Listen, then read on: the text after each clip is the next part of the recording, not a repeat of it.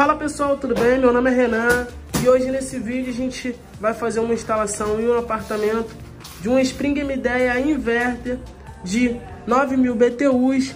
A instalaçãozinha vai ser realizada aqui em um quarto. Aqui a gente vai fazer a abertura de canaleta para fazer essa tubulação, a tubulação frigorífica toda por dentro da parede.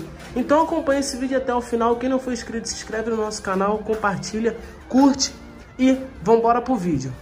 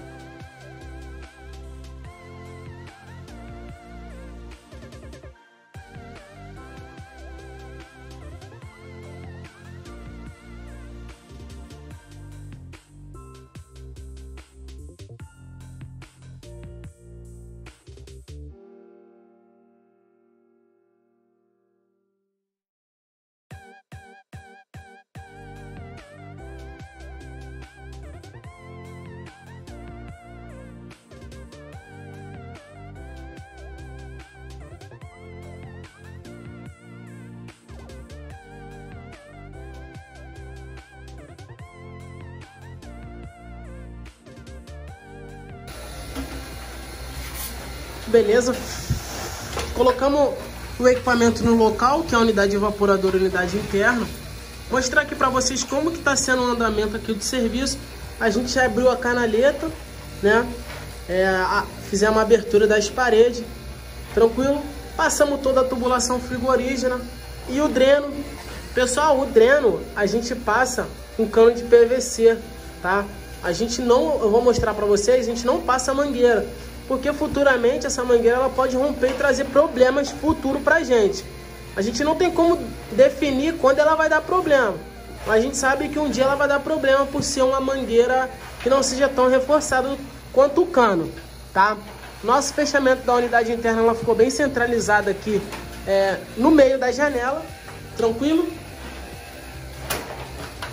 E aqui a gente está fazendo o passo adequado que é fazendo o fechamento. A gente está fazendo um fechamento com gesso, tranquilo? Aqui a gente tem um dreno, tá? Eu, eu preferi sair com o dreno do lado direito, é, para não precisar rasgar esse lado aqui e dar mais trabalho pra gente.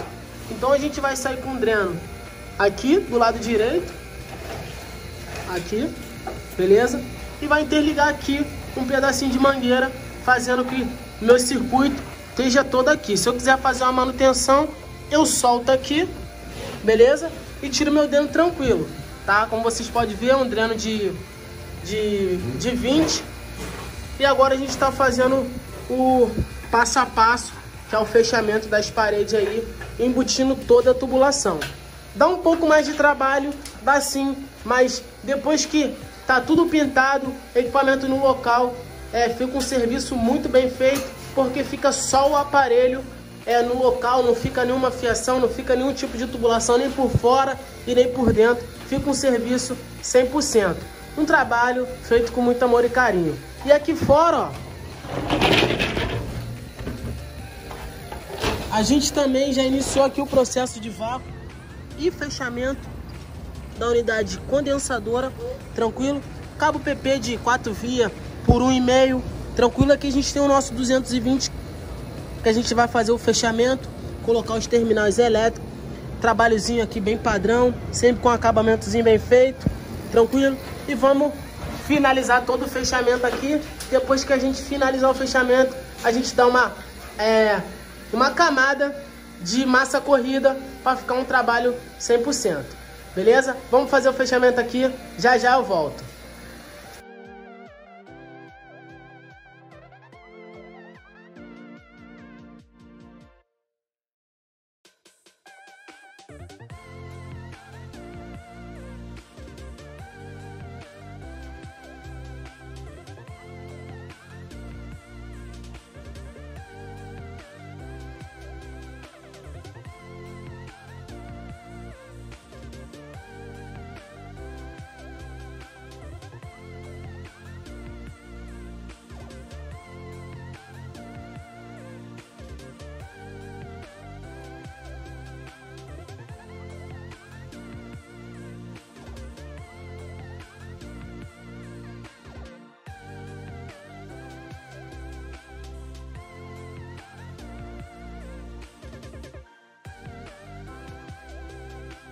Então, voltando aqui no vídeo, só para mostrar como é que ficou a parte do dreno, tá? A parte do dreno ficou justamente atrás da máquina. Se eu quiser fazer uma manutenção, solto o dreno aqui tranquilo e não tem nenhum tipo de problema. Deixei aí 8 centímetros afastado do equipamento até o forro, para não prejudicar o funcionamento do equipamento, porque aqui vai ter um projeto de uma cortina, então a gente subiu esse equipamento máximo aí, respeitando o limite e a norma que pede manual do fabricante. As paredes já tá quase 100% fechada, tranquilo, e a gente até colocou o equipamento para fazer um teste de funcionamento, para poder climatizar totalmente o ambiente aqui.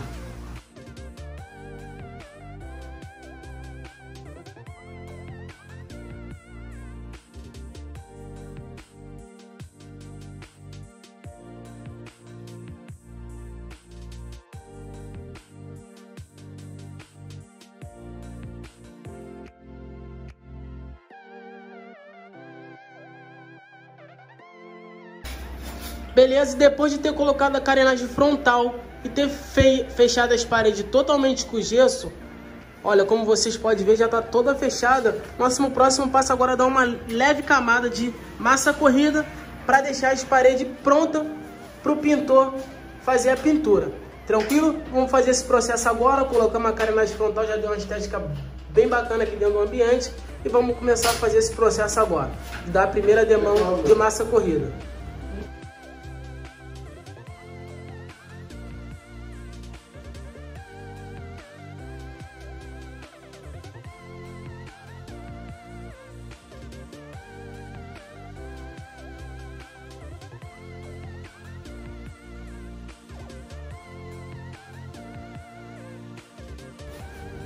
E por fim, a gente entrega mais um belo trabalho, certo? O equipamento funcionando já tem cerca de 30 minutos, as paredes totalmente fechadas, 100% fechadas, dada a primeira demão aí de massa corrida para finalizar. Nem dá para ver aí onde a gente fez o recorte da, da canaleta. Dá uma olhadinha como é que ficou o trabalho. Agora essa parte de pintura é com o pintor, equipamento centralizado no vão da parede, no vão da janela. E aqui ficou a unidade externa. Tranquilo? Unidade externa. Funcionando. Belezinha? E é isso aí, mais um trabalho finalizado pela nossa equipe, pela nossa empresa. E se você precisar de um orçamento, Pode entrar em contato com a gente via WhatsApp, o número é 98224 0655 e segue na rede social que a gente mais utiliza lá no Instagram, que é Refrimark Climatização. Muito obrigado e até o próximo vídeo. Lembrando que a gente atende todo o Rio de Janeiro. Juntos somos mais fortes.